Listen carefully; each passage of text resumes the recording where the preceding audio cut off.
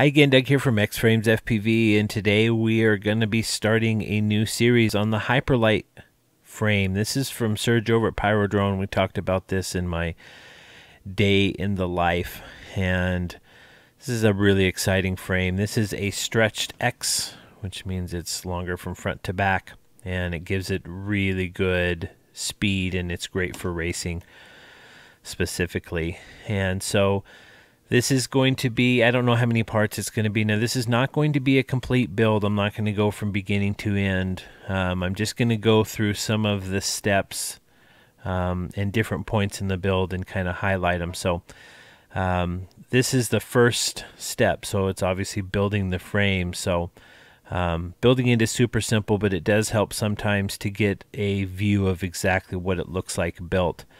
Um, so, you have the bottom plate here. Okay. And uh, it's pretty, it's obvious which way it goes. Um, it's kind of an arrow almost pointing forward if you can see that in the video. Um, and then we, the the arms get mounted on. The, we have these really long M3s. I don't know exactly what size they are, but they're really long. And um, then these nuts go between the arms and then this middle plate okay? So this is so it's got a bottom plate and a middle plate. You can see that's where the antenna for the FPV system is going to mount.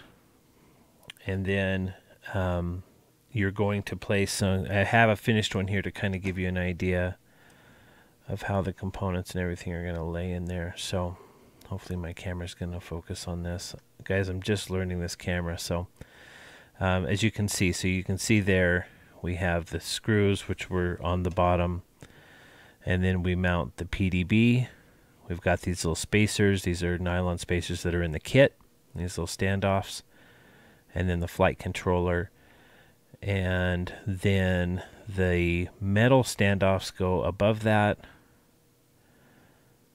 same thing in the front. There's metal standoffs that are underneath this camera, TPU camera mount, which slides right on top of it. Now that's, you know, you're going to need to wiggle and kind of be gentle, but you're going to have to play with it a little bit to get it on there because it's a really tight compression fit.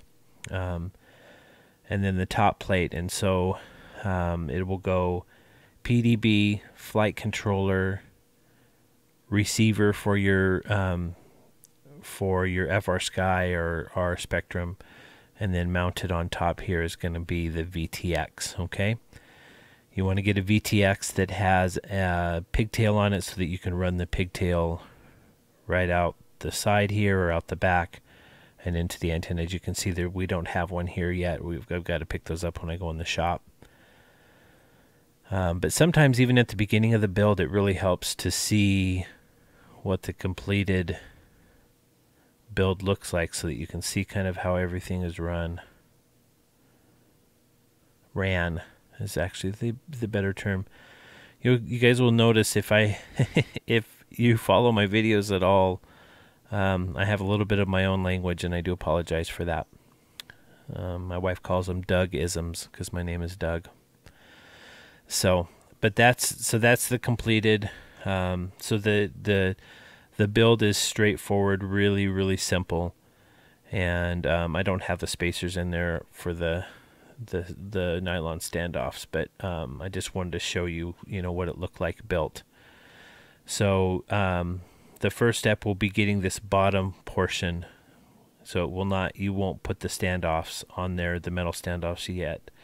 Um, and let me show you what that looks like. I'll be back here Okay, so th thought I would show you guys. So this is basically this would be step one with the frame. Um, you know, you're going to go ahead and bottom plate first. M3s, the long M3s go through. You then are going to drop the arms down onto the long M3s, then the middle plate, and then the nuts. Now, one thing, you do want to leave these nuts a little bit loose, and the reason for that is when you go to drop your PDB and your flight controller on, if you tighten them down, these can be misaligned, can be off, you know, maybe tilted just a little bit, and so um, it really helps in assembly of of dropping the components on. And then when you're all done, you can tighten everything up.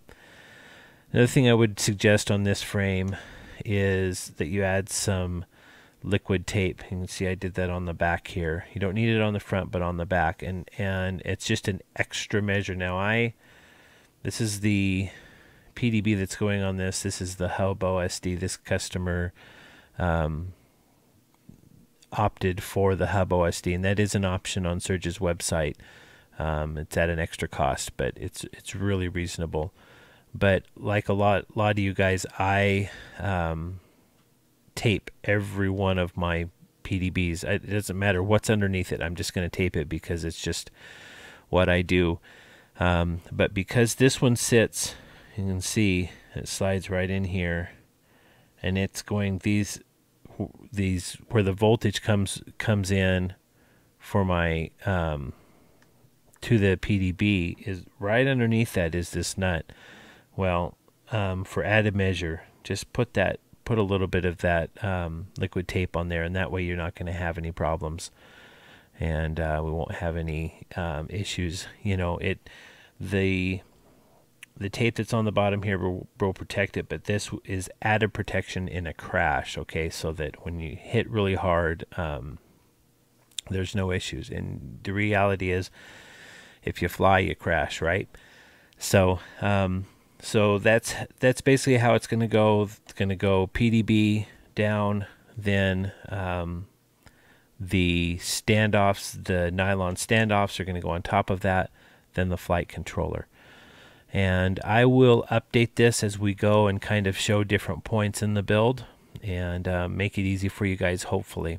And if I'm missing anything, just put in the comments, hey, I didn't see this. Can you show this? And I'll do my best to. So hope you guys are having a good day. Hope you get to fly. Thanks so much.